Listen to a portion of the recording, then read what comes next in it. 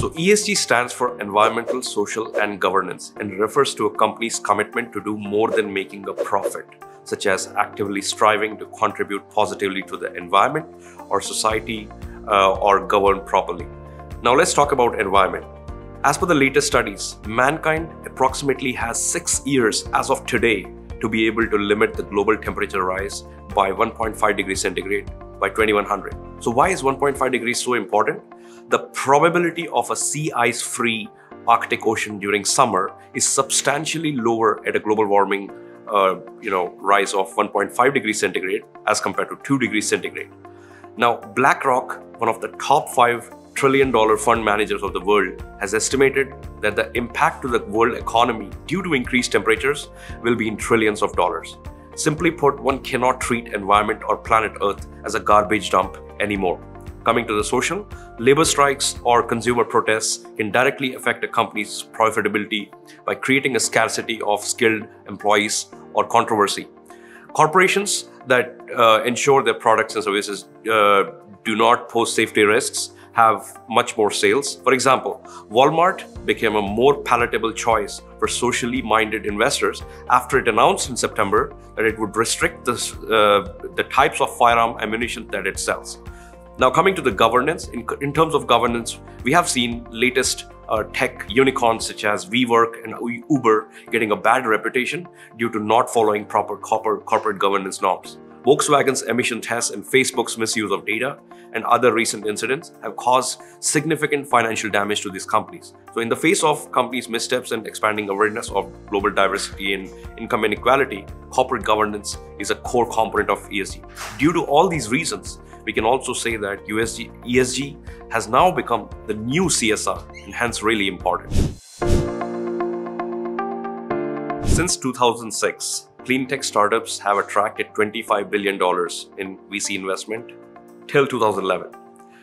By the end of 2011, clean tech sector underwent one of the worst boom and bust cycles in the history of technology investing. Of the $25 billion that investors placed in clean tech firms, more than $12.5 billion was lost during what is retrospectively known as Clean Tech 1.0, resulting carnage scared an entire generation of investors away from the sector.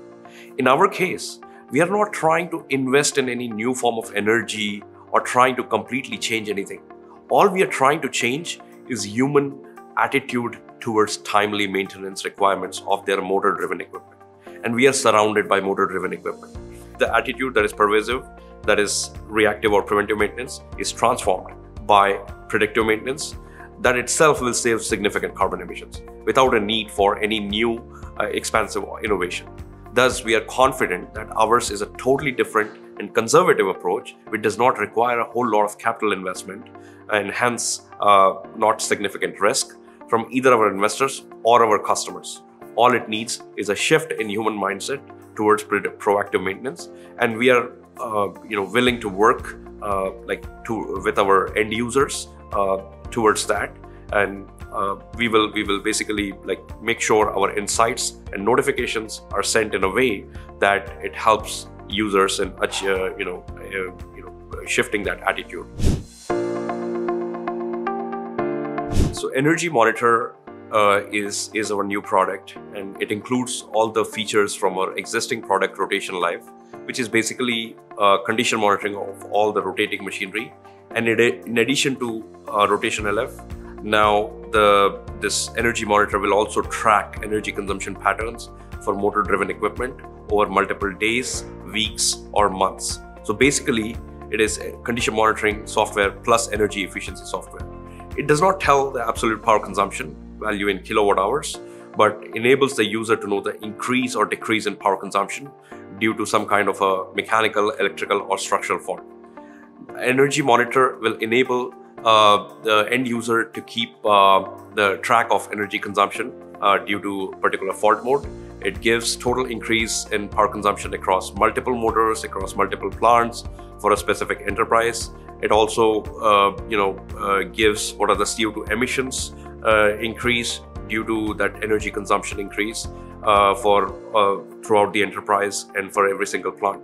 And apart from that, it also provides how much CO2, uh, how much that CO2 emissions translate to, for example, how many gasoline powered cars it puts off the road for a year if they take maintenance action at the right time. Uh, how many plants or acres of forest grown for 10 years uh, is equivalent to this much CO2 emissions sequestered, and how much pounds of coal burned uh, they can uh, they are avoiding by avoiding these CO2 emissions by taking maintenance at the right time. So how does all this help in asset intensive entity to meet their net zero goals? Net zero means that an enterprise either emits no greenhouse gases or offsets that completely.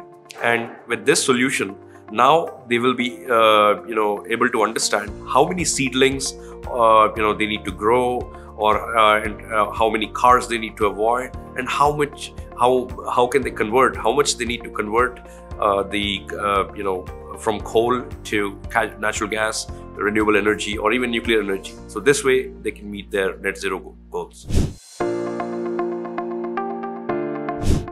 it comes back to fundamentals of physics for electric AC motors, power consumption is directly proportional to the square of magnetic flux. This is electromagnetics 101. Currently, we are already using our magnetic flux data to extract RPM or the speed of the machine using MachineDoctor sensor with more than 98% accuracy for any machine with RPM between 100 to 6000. This has already been tested in a laboratory of one of our strategic partners, which is a billion dollar company. MachineDoctor sensors uh, can capture high quality magnetic flux uh, spectrum data, which have been validated on live machines. When installed at an appropriate location on the motor, can show electrical line frequency, uh, which is basically 50 hertz. Uh, in many countries, it is 60 hertz, clearly on the spectrum. Due to these two reasons, that is, by being true to the laws of physics and by ensuring high quality magnetic flux data, which have, we have already validated, we are confident that we can achieve what we are claiming. All we require is an appropriate location on the motor to install the sensor without being disturbed over the course of uh, this project. So Energy Monitor is now ready to be deployed at scale in the field, providing a cost-effective means for every company to achieve a greater sustainability. Just imagine the building uh, we are in right now, 60% of it, uh, energy consumed by it is driven by, uh, consumed by motor driven equipment. We are talking about saving at least 10 to 20% of that energy just by proper and proactive maintenance delivered through Energy Monitor. We're, and we're talking about impacting 2 to 3% of total global carbon emissions, right? Apart from that, in the industrial sector, uh, where almost 50% of energy is uh, consumed by motor driven equipments, again, we can save up to 10% of that energy. That means 2, 2 to 3% of total plant's energy just by proper condition monitoring. All of this possible with insights from Energy Monitor, allowing maintenance and reliability professionals to take appropriate actions at the right time. Of course, it needs proper cooperation between the site team and us. It is not just that one software will do the magic. It needs a collaboration for this number to be achieved. Uh, we have custom uh, constructed our dashboard in a way that it now shows energy lost and also carbon emissions because of any any fault modes in the machine. Uh, and this in incentivizes the user to take uh, the uh, like uh, to to weigh their priorities whether to postpone the decision till the last moment just to avoid a production loss or they can prepone and take some hours of production loss to save uh, this energy consumption and associated carbon emissions due to some fault mode uh, in the in the machinery right if the production is indeed critical uh, then a, production process cannot be stopped. But uh, that's a decision the user can take. But before, they didn't have this data. Uh, so everyone was, uh, all the users or customers that we see were only focused on avoiding unplanned downtime. But now with this data, they can prioritize better. With Energy Monitor, we can significantly contribute towards this net zero goal for not just uh, individuals, but for residential buildings, industrial plants, by monitoring power consumption uh, of the motor driven equipment. All this without changing anything except human attitude towards the maintenance actions triggered by Energy Monitor for the motor driven equipment. Uh, so energy use in buildings and industries together is responsible for 42% of the total carbon emissions as per Climate Watch. And motor driven equipment, which we are monitoring, is responsible for 60 to 70% of the total building electricity consumption and plant electricity consumption. Now, we're talking about impacting 2 to 3% of global carbon emissions just by advising right maintenance at the right time for motor driven equipment. Isn't that a noble enough goal to expand from just doing condition monitoring to providing condition monitoring based energy efficiency insights? Ultimately, we are changing nothing much in our hardware and software, but rather the attitude of the people uh, who are operating these equipments uh, towards the maintenance of those equipments.